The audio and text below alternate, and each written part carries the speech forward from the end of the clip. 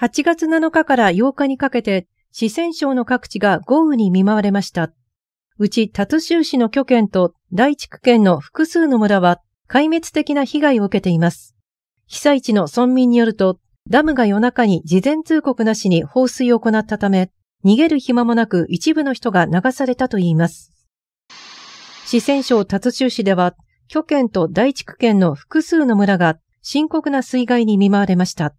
現場で撮影された動画によると、道路全体が濁流に飲み込まれ、建物の1階に位置する店舗は、店内の商品がすべて流されました。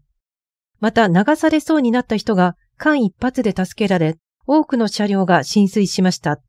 達州市の被災者によると、複数のダムが事前通告なしに同時に放水したため、少なくとも数十の村で水害が発生し、100万人以上が被災しました。洪水に流された人もおり、生死不明ですが、中国のメディアはあまり報道していないと言います。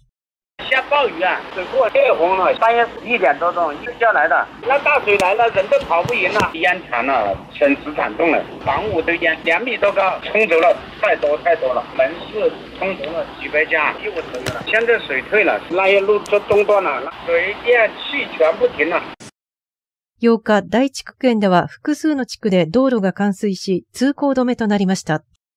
这边是有一个水库的，这个没有通知。月环那边还有尿大清水这几个地方比较严重，水是淹得很高的。昨天嘛，有些农村比较严重，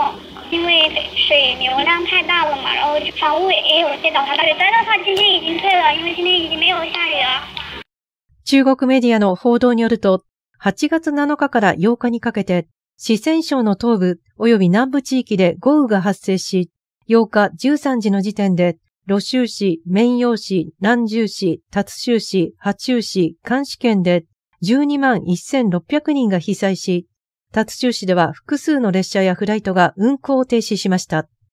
NTD ジャパンがお伝えしました。